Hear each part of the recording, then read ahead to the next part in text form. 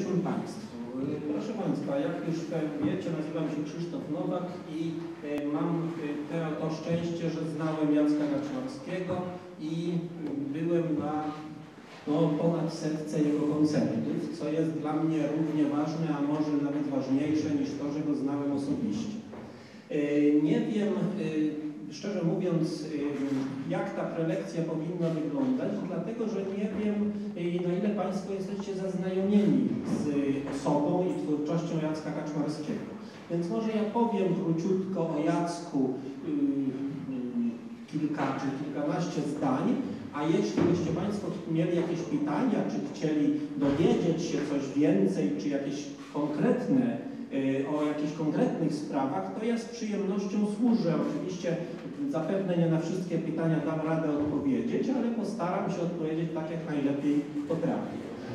Czy wszyscy Polacy słyszeli, wiedzą, kto to jest Jacek Kaczmarski? Nie sądzę. Jest niestety coraz więcej osób, którzy nie słyszeli, dlatego że jej twórczość Jacka Kaczmarskiego jest, jest była i jest twórczością niszową w istocie. I, I dobrze, dlatego że kiedy Jacek był najbardziej znany? Najbardziej znany był w latach 80., przed wprowadzeniem stanu wojennego i po wprowadzeniu stanu wojennego, ale głównie na przełomie lat 70. i 80. i potem w latach 80., kiedy Polska nie była wolna, kiedy w Polsce panował miniony system i Jacek był jednoznacznie kojarzony z, e, z opornikiem politycznym, z takim człowiekiem, który jest, sprzeciwia się e, ówczesnemu ustrojowi w Polsce. E, mówi się o tym, że właśnie, żeby o Jacku inaczej, żeby nie było, że to jest tylko bardzo Solidarności. Więc może pierwsze pytanie ja sam zadam i na nie odpowiem. Czy Jacek Kaczmarski był bardem Solidarności? Niewątpliwie tak. Y, nie chodzi o to, żeby zacierać ten fakt, że Jacek był, y, no, wpisywał się w opozycję antykomunistyczną w Polsce chociaż jego utwory nie były jednoznacznie, a przynajmniej te pisane w Polsce, to znaczy Mury, Muzeum i Raj, te pierwsze trzy programy poetyckie, y, które z Przemysławem Gindrowskim i Zbigniewem Łapińskim napisali, yy, śpiewali, one nie były takie jednoznacznie polityczne, natomiast wówczas było tak, że wszystko, każda wolna myśl była interpretowana politycznie. Każdy kabaret, każda piosenka autorska, to wszystko było, miało taki rezonans silnie polityczny. W związku z czym Jacek też się w to wpisywał siłą rzeczy. Z drugiej strony Jacek mówił, że właśnie wtedy, w latach 80., że najkrócej można o jego twórczości powiedzieć, że ta twórczość mówi o walce jednostki z siłami natury, które pragną ją zniszczyć. A wtedy te siły natury były w dużej mierze uosabiane przez system komunistyczny w Polsce, a więc siłą rzeczy te piosenki też o tym systemie były, mniej lub bardziej bezpośrednio.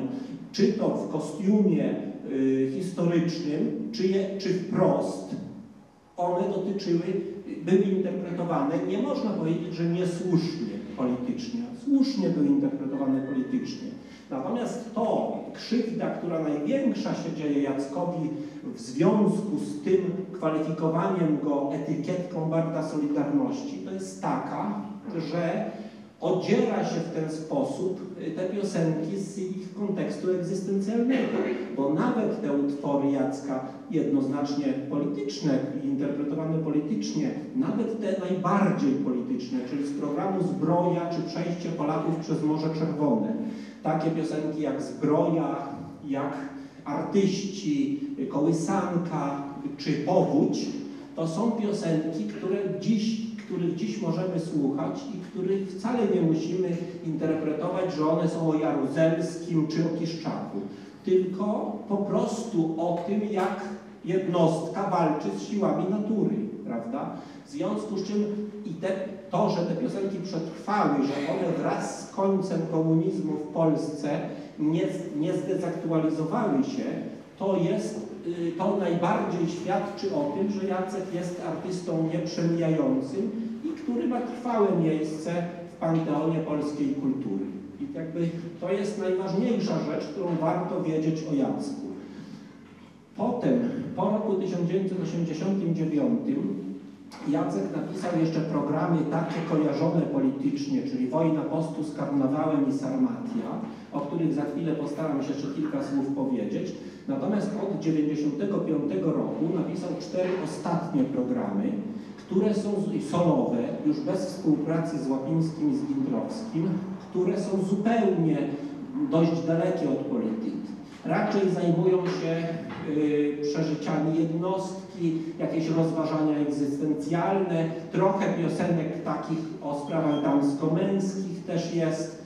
Oczywiście są też polityczne, typu zakopywanie głowy na przykład, yy, czy 20 lat później, piosenki jednoznacznie polityczne, ale jednak już Jacek pisał o takich rzeczach yy, egzystencjalnych. Wielu ludziom to się nie podobało, tym, którzy byli przyzwyczajeni do tego, że Jacek będzie walił w komunę, jakiś ustrój, w ten czy inny.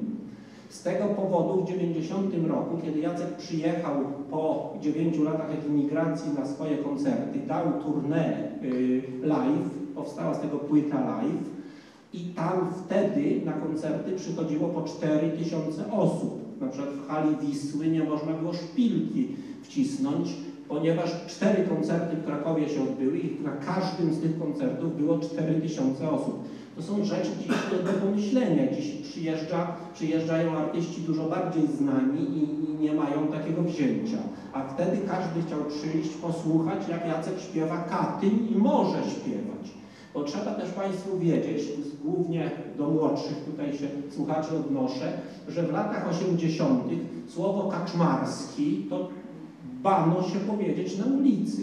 Tak jak Bujak czy Wałęsa, dziś odsądzane od czci i wiary, ale to nie ma znaczenia. Wówczas wtedy wszyscy opozycjoniści, Wałęsa, Macierewicz, Kuroń, Michnik i tak dalej, byli kojarzeni jako wrogowie ludu, a więc przeciętny Polak bał się w tramwaju głośno powiedzieć te nazwiska. I Kaczmarski też należał do tych, to nazwisko też należało do tego zbioru.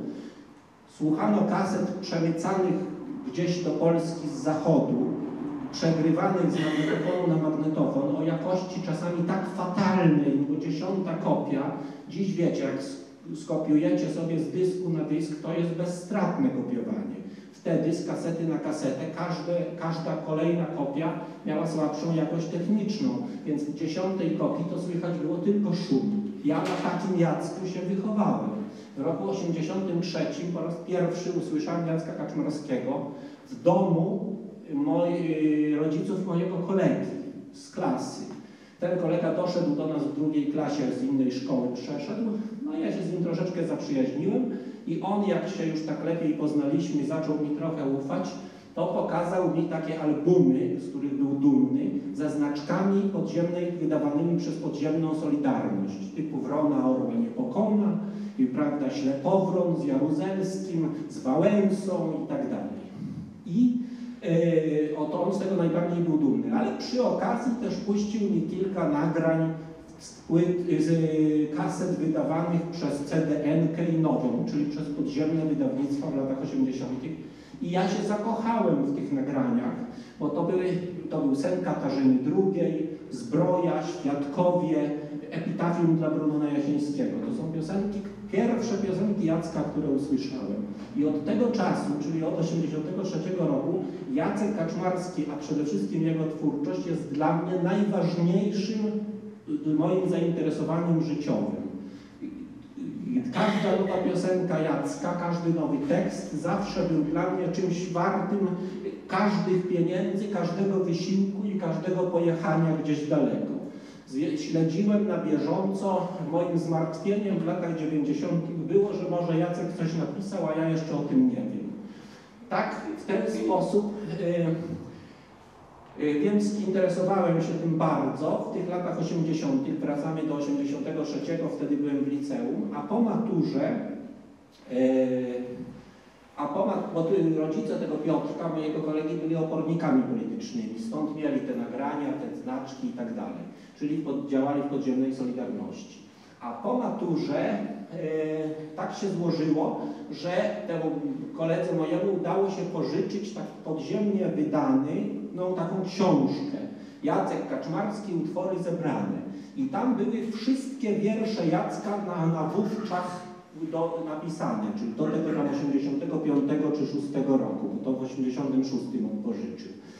No, wtedy kserokopiarek nie było, a powielacze białkowe istniały, ale one były zabronione, bo za komuny nie można było mieć radiostacji ani powielacza. Powielacz to było, za komuny wszystko było zabronione, co mogło służyć, prawda, czemuś do, no, do, wydrukowania ulotki. W związku z czym ja przez wakacje w roku 87 na maszynie do pisania przepisałem całą tę książkę. Więc jakby no, żeby mieć te wiersze, żeby się z nimi nie rozstać, bo tę książkę i tak to, że no miesiąc się udało pożyczyć, to był cud. No w końcu oddaliśmy tę książkę, te, te wiersze zostały. I kiedy Jacek przyjechał w 90 roku do Polski, ja przepraszam, że tak trochę sobie mówię, ale myślę, że to też da Państwu jakąś tam, y, jakiś obraz, jak to wtedy wyglądało. Kiedy Jacek w 90, potem słuchałem namiętnie Radia Wolna Europa czyli takiego radia nadawanego z Monachium, które do, finansowanego przez Kongres Stanów Zjednoczonych, które nadawało do Polski po polsku yy, po prostu prawdę mówioną, informacje prawdziwe podawano tak dalej. Jacek, ponieważ stan wojenny zastał go we Francji, w Paryżu, od 1984 roku był etatowym pracownikiem Radia Wolna Europa, prowadził programy informacyjne, ale miał też taki swój program Kwadrans Jacka Kaczmarskiego. Raz w tygodniu przez 15 minut mówił kilka słów o piosence, piosenka, kilka słów piosenka. Trzy, cztery piosenki śpiewał w czasie tego kwadransa. Ja te kwadranse nagrywałem, a ponieważ Radio Wolna Europa było zagłuszane przez zagłuszarki w Polsce, w Polsce, no więc się wyszukiwało na różnych częstotliwościach, te kwadranse były powtarzane. On był pierwszy raz nadawany powiedzmy w niedzielę o 19.45, powtarzany o 22.45 i w poniedziałek 6.45, 10.45, 14.45. Bywało, że ja nagrywałem trzy albo cztery razy ten kwadrans, a potem w studiu radiowym Akademik przy Placu Narodowicza w Warszawie, to jest takie studenckie studio, w którym działałem, też oczywiście tam głównie Kaczmarskiego y, starałem się propagować. Y, w tymże studiu były możliwości takiego lepienia taśm, takiego no, miksowania, no nie to co teraz na komputerze, ale no już to było półprofesjonalne. I wtedy bywał, y, moją ambicją było doprowadzić do tego, żeby każdą piosenkę nową, którą słyszałem w Radiu Wolna Europa, z tych czterech nagrań tak posklejać, żeby wszystkie słowa były słyszalne.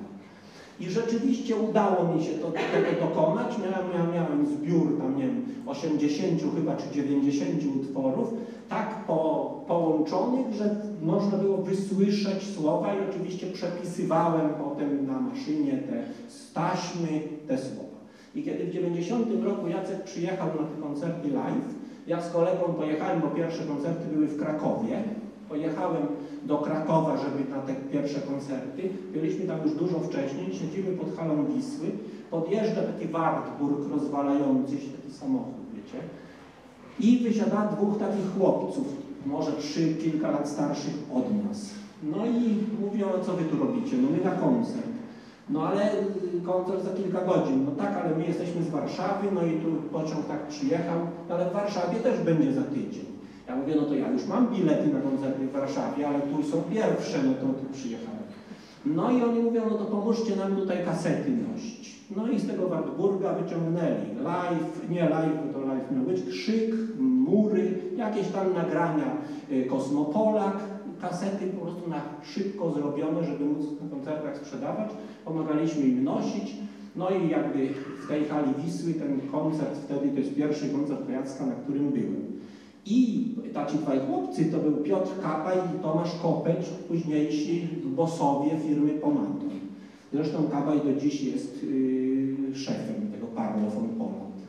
I z Kopciem ja się tak w miarę zaprzyjaźniłem, no bo dzwoniłem tam, żeby się dowiadywać, kiedy będą jakie koncerty, gdzie i tak dalej.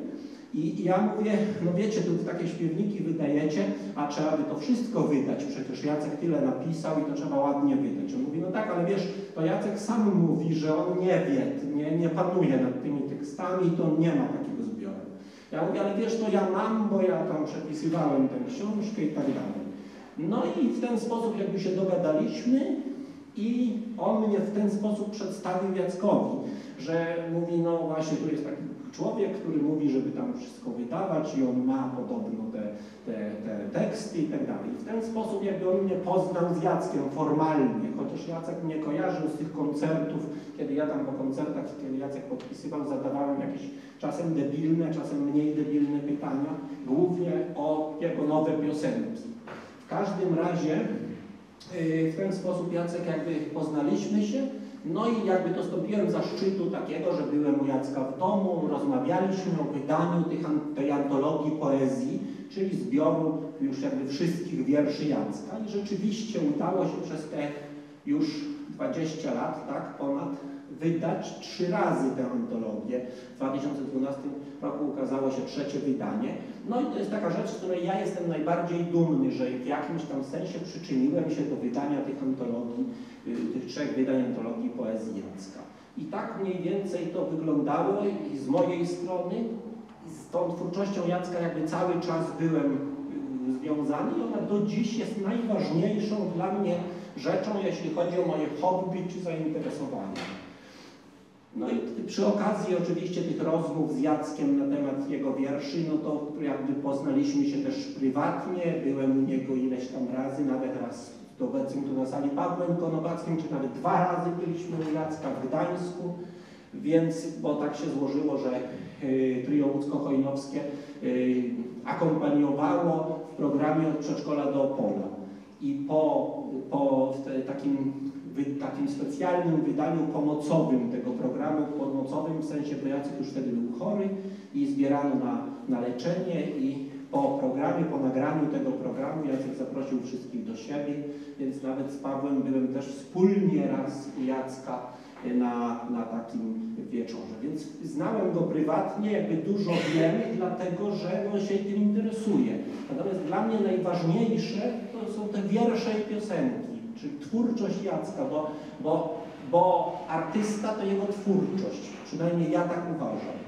Artysta to przede wszystkim jego twórczość, a jego biografia to jest gdzieś tam na drugim miejscu, bo on fizycznie był takim samym człowiekiem jak każdy z nas. Natomiast oczywiście był dużo bardziej inteligentny, miał ogromną wiedzę. Dla mnie nie mówił nigdy rzeczy niebanalnych, nigdy rzeczy banalnych nie mówił. Wszystko, czy wszystko lub prawie wszystko, co Jacek mówił, było w jakiś sposób odkrywcze. Zresztą Jacek chciał taki być i tak mówić, żeby nie mówić rzeczy, których nie, no, które i tak każdy może powiedzieć. Tylko jak już rozmawiał, jak już komuś poświęcał czas, jak już o jakiś, jakiemuś tematowi poświęcał czas, to starał się na ten temat mówić w sposób jakiś w miarę ciekawy. I to było fascynujące takich rozmowach z Jackiem, nawet dotyczących nie tylko jego twórczości. To, to tak może tytułem wstępu, a gdybyś ktoś z Państwa miał jakieś pytania, to ja z przyjemnością postaram się odpowiedzieć. Proszę się nie krępować.